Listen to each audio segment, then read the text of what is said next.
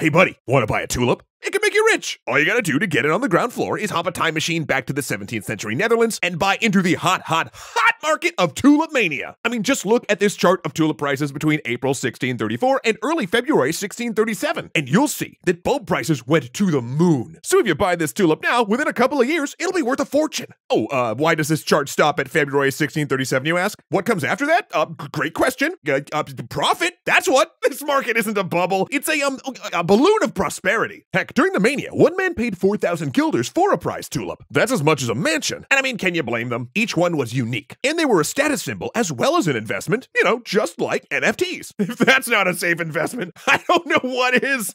oh, what's that? You heard someone say the tulip market crashed spectacularly? With bankrupt tulip traders drowning themselves in the Amsterdam canals? Psh, Whatever, those are lies from the traders in the Amsterdam Stock Exchange, okay? So if you want the real story, you click that link below.